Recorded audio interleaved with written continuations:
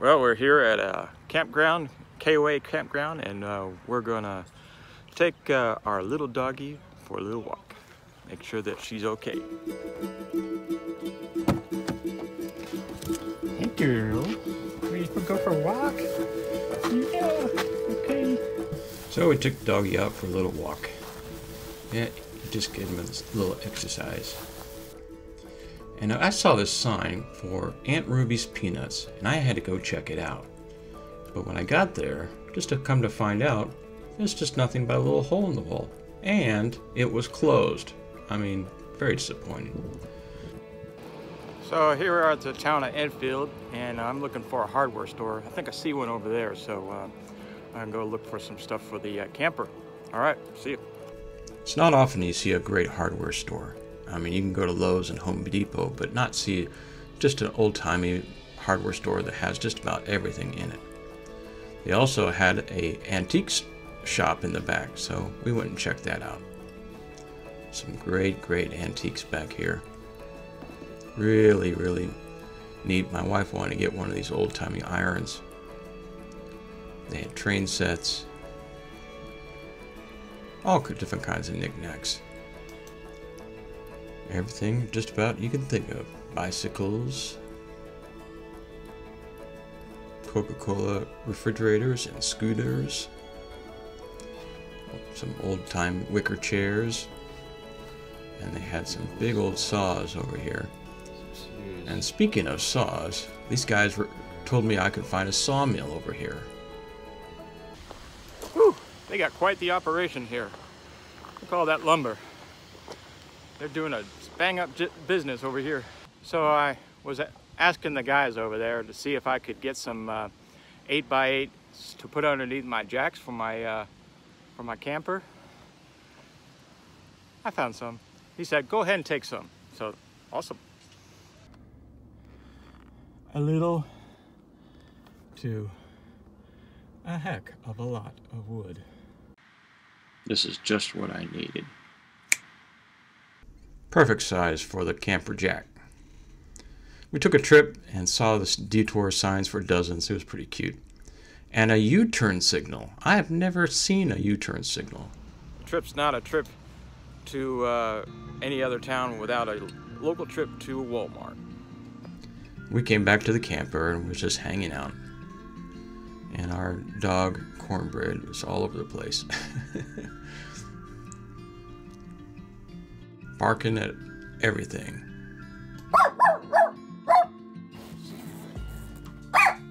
So, oh, we've seen that guy. So, I'm gonna take uh, our little puppy for a walk. This is a look at our campsite, camp with our camper. And uh, she's already taken off on me. I gotta track her down. A friend once told me that dogs, when they're sniffing around, it's like they're going to a museum. And so every new smell is like a, a, a new mu museum exhibit. They got to go and check it out.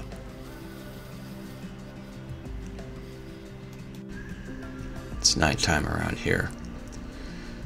Time to put everything away and get ready for bed. That's our camper right there at, at nighttime.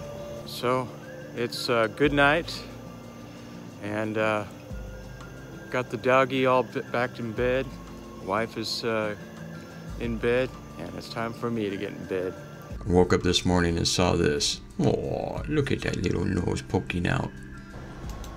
It's early, early in the morning. Taking my little doggy for a walk because of the, uh, so that she can go to the bathroom. I'm tired. she stopped in her tracks and was fixated on one little point. I didn't see what she's looking at. This is a kinky. No, no, no. No, no, no. No, no. Come on. One thing's for sure, there's always something to smell and to discover. Who knows what exhibit is going to be next?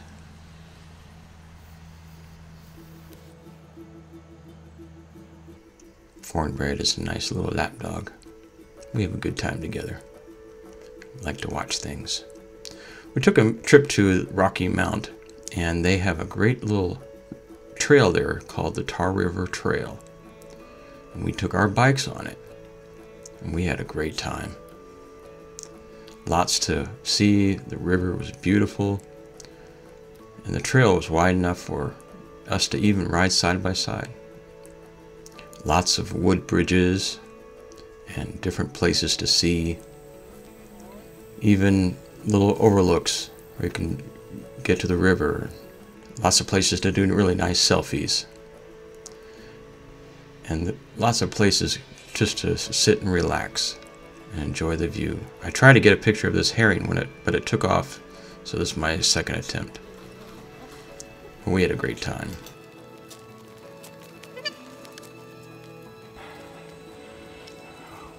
We're riding this uh, Tar River Trail in Rocky Mount.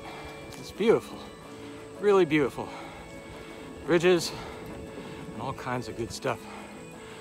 We're just enjoying the ride. It's just awesome. Of course, I'm on a bicycle this time, but uh, you know, while uh, my leg is healing, I gotta do something. So, two wheels is better than none, in my opinion. I'm just having a good time. She's got it easy. She's got a battery powered trike. And on a bicycle, it's tough riding, going up hills. but I'm glad to be out to her and uh, having a good time. See ya. Keep on going. Beautiful day.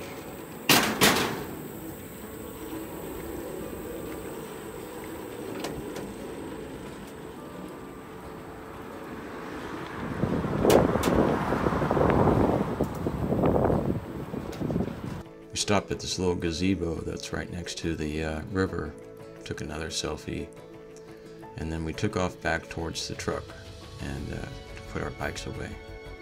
Saw this big old rock here. It was actually a mount for the first post office of Rocky Mount. These hills are challenging. I'm sure, sure not too challenging for you other uh, cyclists out there. But for a 56 year old man who just is recovering from a broken leg, it's pretty challenging for me. But I'm doing it. And I thank the Lord for it. Well, we did it, and that was a nice ride. 3.5 miles, not too bad on this Tar River Trail. So we went back to the uh, campground, started a fire, and our, cooked our dinner on it with me and my wife Kay. and little cornbread kept on searching for that next exhibit. Well, we made it back with a half the day still left. Now we got the fun part of unpacking. So I had uh, cornbread's little playpen that I had taken out and uh, brought it back in to put the uh, barrier so uh, we could use it again like that.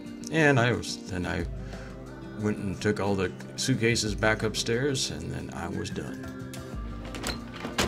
We did it. That's a wrap. All done. That was a good time.